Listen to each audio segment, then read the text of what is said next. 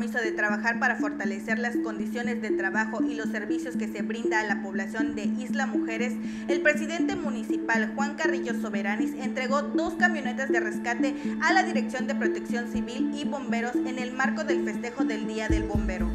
Carrillo Soberanis, acompañado por autoridades municipales, ofreció un desayuno conmemorativo a este día, donde entregó reconocimientos a cada elemento por su labor que realizan, en especial a dos trabajadores por sus 10 años de trabajo dentro del heroico cuerpo de bomberos, así como un incentivo económico, y resaltó la importancia de su trabajo para salvaguardar la integridad de las familias isleñas, por lo que conociendo las necesidades de la corporación gestionó una donación de vehículos que se suma a la cuadrilla que son fundamentales para atender al municipio.